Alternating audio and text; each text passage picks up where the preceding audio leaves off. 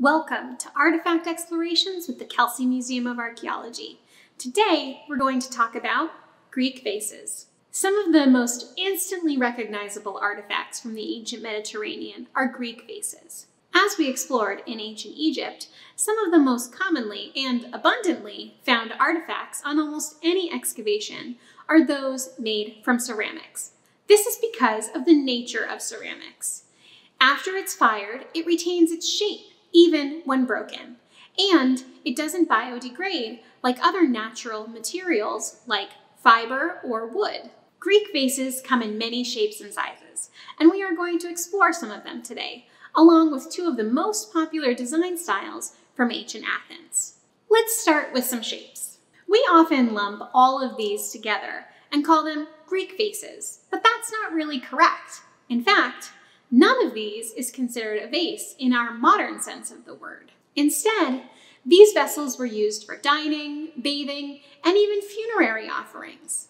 When archaeologists look at ceramic vessels, we ask a lot of questions to help us determine its function. Questions like, what size is it? What shape is it? And does the shape affect its function? We also use a lot of body terms when describing a ceramic vessel. We use terms like lip, neck, shoulder, body, and foot. Let's take a closer look at some of these vessels and see if we can determine their function. Let's take a look at these small vessels first. These are called aryballos. So let's ask some questions to see what conclusions we might make about what an aryballos was used for. We can see that it has a small, narrow opening with a flat, wide lip. We can also see that it has a narrow neck, which opens up at the shoulders to a bulbous body. We can also see that it has a very small handle, and it does not have a foot. So what conclusions might we make about its use? By taking all of these things into consideration. The small size tells us that something precious or expensive probably went inside this. The narrow neck and opening and flat lip indicate that it was some sort of liquid. The narrow neck makes it so that the liquid stays inside and the flat lip enables for easy pouring. We also noted that this vessel does not have a foot, which indicates that it was not meant to stand on its own. So, putting all of these together, what do you think an aryballos was used for? Aryballos were used by athletes and were filled with perfumed oil. A leather or fiber rope was tied around the narrow neck, fastened in place by the small handle, and tied to the athlete's wrist. Athletes would use the perfumed oil to bathe with. They would spread the oil on their skin, mix in a little bit of dirt to exfoliate, and scrape off the remnants. We also get a hint about the use from aryballos because we see it depicted in vase paintings, where we see athletes using them during their bathing rituals. Let's take a look at another type of vessel. Behind me, we have several examples of kyliki, or singular kylix. Let's ask those same questions that we asked about the aryballos about the kylix. What size is it? And what indications might its shape tell us about its function? Here we can see that the kylix comes in a variety of sizes. Here we have a larger one, and here we have smaller examples. All of them, however, have this wide opening, and we can see that the bowl itself is actually very shallow. It does have a short stem and a foot, and each of them has two small handles on either side. So what conclusions might we make about the function from the shape of the vessel? Unlike the aryballos, we have this wide open mouth. So it probably wasn't for storing liquid inside of it. We see the two handles, which indicate that it was meant to be held with two hands. And we see that it does have a foot. So it was meant at some point to stand on its own. Sometimes we get a hint about the function of the vessel from the decoration inside. Looking at this vessel here, we can see a young man pressing grapes, which indicates that the use of the kylix had something to do with wine. Kyliki were used during the symposium and other drinking events and were used for wine.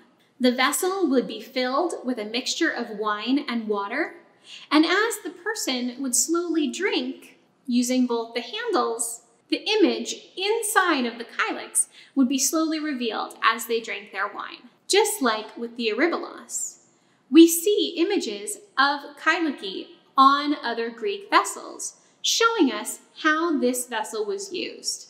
So let's talk a little bit more about the decoration styles of these Greek vessels. Beginning around 620 BCE, a style called black figure became popular in Athens. Black figure developed out of an earlier style of Corinthian pottery.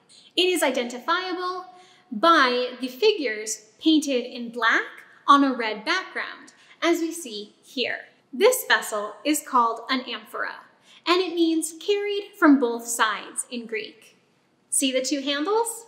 Amphorae like this one were used for storing or serving wine, although this one ended up in a burial context as grave goods. Some amphora were used as prizes in the Pan-Hellenic and Pan-Athenaic games and were filled with olive oil. Let's take a closer look at the decoration of this amphora. Does anyone recognize any of the characters? This gentleman is the most famous of all Greek heroes, Heracles, or Hercules as he was known to the Romans. Heracles was famous for completing 12 labors, which were assigned to him by King Eurystheus, his archenemy. One of those labors was to retrieve the girdle, or belt, of the queen of the Amazons, Hippolyta. The Amazons were a fearsome race of female warriors, and when Heracles tried to leave with the queen's girdle, they fought back. Here we see Heracles fighting the Amazons. If we look closely, we can see that the Amazons are actually depicted with white skin. This is because in Greek pottery, women are usually depicted with white skin. Around 520 BCE, a new painting technique gained popularity. It is called red figure. This is because the figures are left in red, while the entire background and any details on the figure are painted in black. Red figure style allowed for more natural lines and a feeling of movement within the decorations. Here we can see several examples of red figure vessels, including an image of the goddess Athena on this lekythos, as well as her owl on this skyphos. While many Athenian vase painters never signed their names to their vases, we have been able to identify several painters by their style of painting. The painter of this amphora behind me is recognized by his work on more than 300 vessels. Some of them are the most beautiful examples of red figure painting. He is known as the Berlin painter, named after his masterpiece, now in a museum in Berlin. His simple composition often spotlights one or two figures against a dark background. The scene on this side of the vase probably depicts a sacrifice, with the young warrior setting off or returning from battle. The woman facing the youth may be his wife. The reverse depicts an old man with a staff, perhaps the warrior's father.